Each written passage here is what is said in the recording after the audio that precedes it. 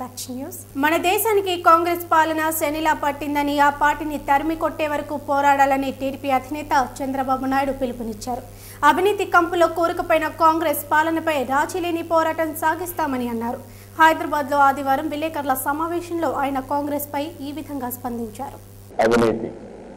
ఈ అవినీతి పర్వాన్ని మనందరం పూర్తిగా ప్రక్షాళన చేయకపోతే కంట్రోల్ చేయకపోతే దేశ ఆర్థిక వ్యవస్థ చిన్నాభిన్నం అయిపోతా ఉంది పేదవారికి చాలా అన్యాయం జరుగుతూ ఉంది ఈ డబ్బులు మొన్న నేను చెప్పాను.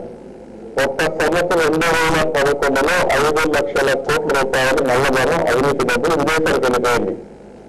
ఏ విధంగా వెళ్ళిపోయింది అడుగుతున్న ప్రభుత్వాన్ని. ఈ రోజు విదేశాల్లో ఒక లెక్కిస్తున్నారు డెబ్బై ఐదు లక్షల కోట్ల రూపాయలు దగ్గర దగ్గర నల్లధనం కానీ అవినీతి డబ్బులు కానీ విదేశాల్లో ఉందని. మళ్ళీ చూసినట్టు సిగ్గుపడి ప్రపంచవ్యాప్తంగా రూపాయలు చేస్తామంటే మేము కూడా రాబోయే రోజుల్లో అకౌంట్స్ ఇస్తాం ఏ దేశంలో ఎవరు స్విస్ బ్యాంక్ పెట్టారో ఆ అకౌంట్స్ ఇస్తామని చెప్పారు గవర్నమెంట్ ఆఫ్ ఎందుకు స్పందించలేదని అడుగుతున్నాను మల్కాజ్గిరి సర్కిల్ పరిధిలోని మౌలాలి సర్వే నంబర్ నాలుగు వందల నలభై మూడు నాలుగు వందల నలభై నాలుగులోని వక్ఫ్ బోర్డ్ స్థలాన్ని దర్జాగా కబ్జా చేసుకుని అక్రమంగా నిర్మాణాలు జరుగుతున్న అధికారులు పట్టించుకోవడం లేదని స్థానికులు ఆందోళన వ్యక్తం చేస్తున్నారు.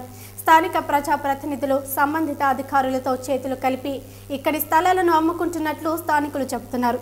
స్థానిక ప్రజాప్రతినిధుల అండదండలతో వక్ఫ్ బోర్డ్ స్థలాలు అన్ని అక్రాంతమవుతున్నాయి అయితే వక్ఫ్ బోర్డ్ విజిలెన్స్ ఎన్ఫోర్స్మెంట్ అధికారులు వచ్చి నిర్మాణాలను చేపట్టవద్దని హెచ్చరించిన యథావిధిగా నిర్మాణాలు కొనసాగించడం గమనార్హం.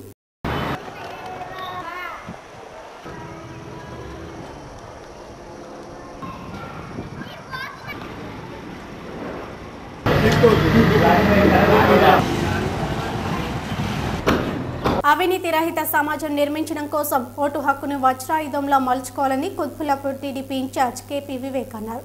జగద్గిరిగుట్టలో టీడీపీ నాయకుల ఆధ్వర్యంలో ఏర్పాటు చేసిన ఓటరు నమోదు కార్యక్రమాన్ని ఆయన ప్రారంభించారు.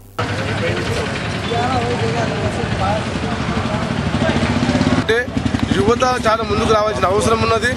మరి మంచి మంచి చాలా సీనియర్ అయినటువంటి ఈ ప్రాంతంలో ఉన్నటువంటి వాళ్ళందరికీ కూడా ఈ ప్రాంతం మొత్తం తెలుగుదేశం పార్టీ కంచుకోట ఈ కాంగ్రెస్ వాళ్ళు నాయకత్వాన్ని ఏం చేశారని చెప్పంటే ఒక్కొక్క బ్లాక్ను ఒక్కొక్క లీజులు కాకుండా ఐదారు లీస్టులు పెట్టేసి ఓట్లన్నీ గల్లంతు చేసింది కాబట్టి మనం అందరం కూడా లేని వాళ్ళందరూ ఓటు నమోదు చేసుకొని ఆ యొక్క ఓటును మనం రానున్న రోజుల్లో మనం సద్వినియోగం చేసుకొని బులెటిన్ ముగించే ముందు హెడ్లైన్స్ మరోసారి.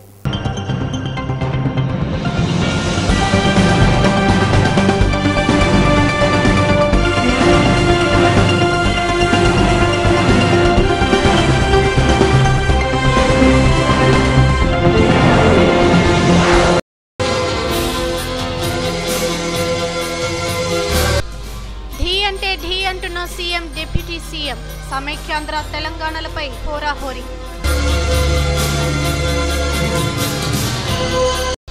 కాంగ్రెస్కు డిఎంకే రామ్ రామ్ అధికారికంగా తేల్చేసిన కరుణానిధి. డిగ్గీరాజాపై సభా హక్కుల ఉల్లంఘన ఖండించిన కాంగ్రెస్ విపక్షాలపై బొత్స విహెచ్ ఫైర్.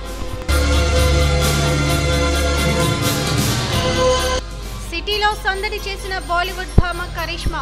ఫ్యాషన్ షోలో జత కలిసిన తారా తోరణం. లో బడ్జెట్ మూవీలకు శాటిలైట్ హై డిమాండ్. తెలుగులో ఐటెంలకు ప్రియమని నో.